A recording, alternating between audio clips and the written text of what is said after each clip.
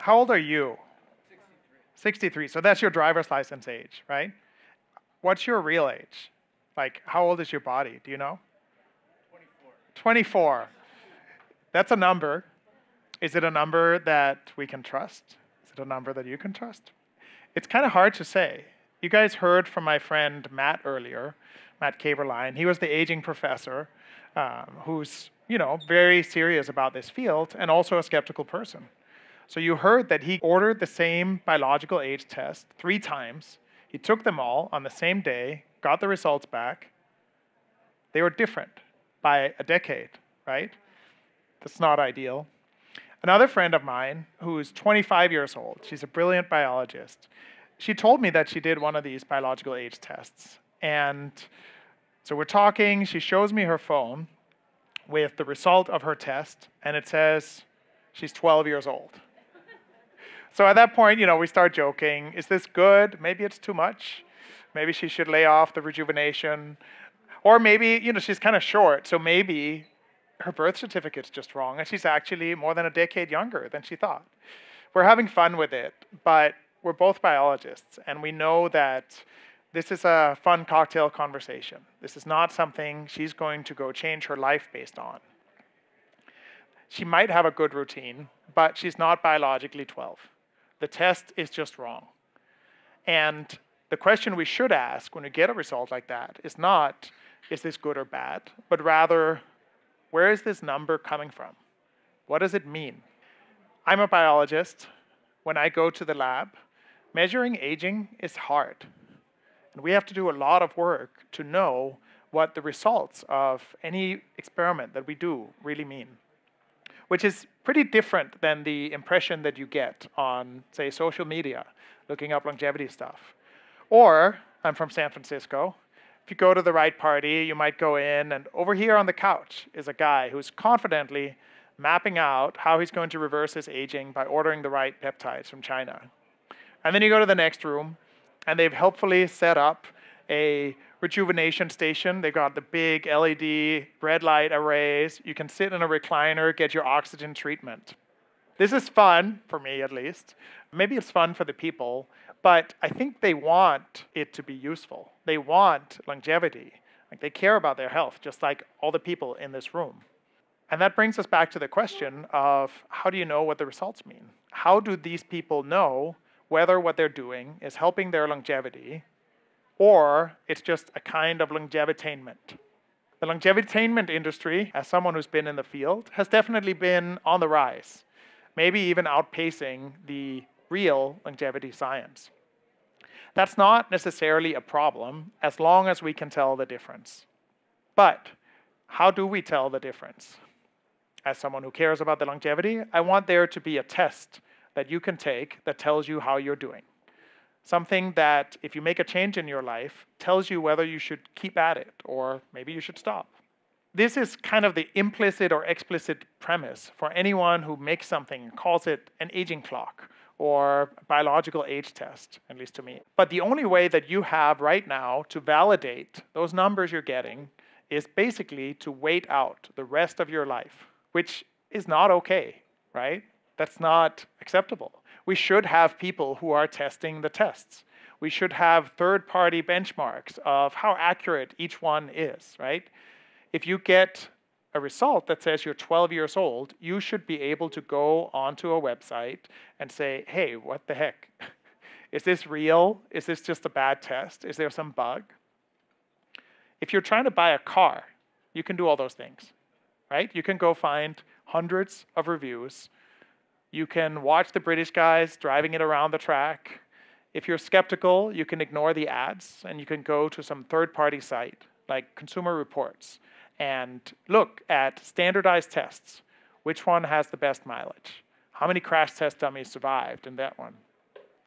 You can do all those things for something as relatively unimportant as buying a car. So shouldn't that also be true for like your life and your health? I think so. I think that's important. And it's even one of the most important bottlenecks for the longevity field to make progress.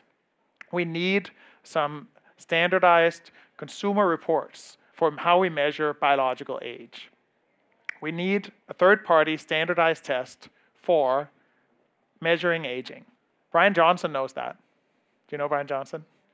Supposedly, he spends $2 million a year optimizing his personal health. And if you go to his website and look at the blueprint foods that he offers for sale, they all boast that there's third party testing of heavy metals. So he spends $2 million a year, and even then, he doesn't have access to any aging clocks that he can use to track his progress that have been validated in third party testing. Why not? Is this an impossible problem? Well, people have tried to validate the clocks, including the companies that make them. It's a good thing. But the thing they've tried that we've done so far is to look at data that already exists. So experiments that were done in the past, tracking people. That's a good start. But if we want to use clocks to test whether interventions are working, predicting the past is not enough. Think about a wristwatch. It can track time perfectly. If I look at it, 24 hours ago, it was 24 hours ago, it was one day ago. It all lines up perfectly. But if I turn the knob six hours, I didn't actually do time travel. I just affected the clock, right? I didn't change time. The same thing could be true for the biological aging clocks. When you do a new treatment that the clock hasn't been applied to, you could be changing your biological age, which is what we want, what we want the clock to measure, or you could just be changing the clock directly, which is useless. So predicting the past is not enough. What we want is to ask the clocks for predictions and then go into the future and see whether those predictions come true. And we can do that even without waiting a lifetime by drawing on all the progress that has happened in the longevity field, where we found dozens of ways of making animals live longer. The gold standard is the NIA intervention testing program, where three different labs run the same experiment. And so we know from that that there are things that will robustly extend mouse lifespan, like rapamycin, and there are other things that don't work.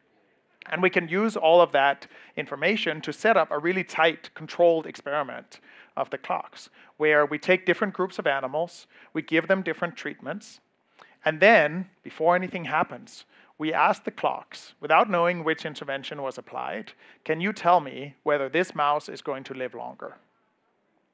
If there's any clock that can do that, if there's anything that's right across a range of interventions, so not just twice a day, but consistently right, now we have something that we would trust to make decisions based on, right? And that's something that we could do today. We have the interventions that we know whether they work or not. We have the measurements. We have the clocks.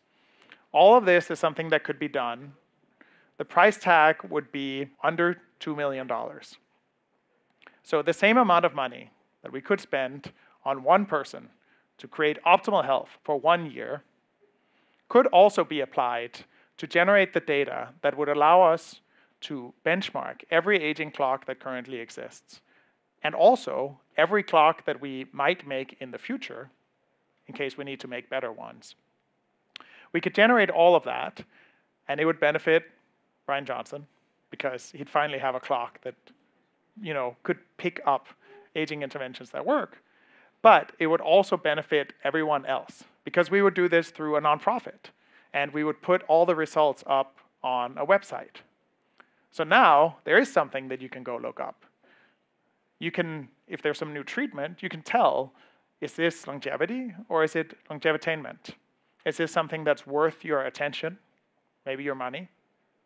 And when you're having conversations with your friend at cocktail hour, it can be something that's more meaningful than just having fun. It can be conversations around how you want to spend your life, what you want to do with the information of how healthy you are. And it could also be conversations around how we as a society want to allocate funds. How many things do we have that actually will change the number on the clock right now? And how many do we want? How do we get there? How much do we want to invest in aging biology?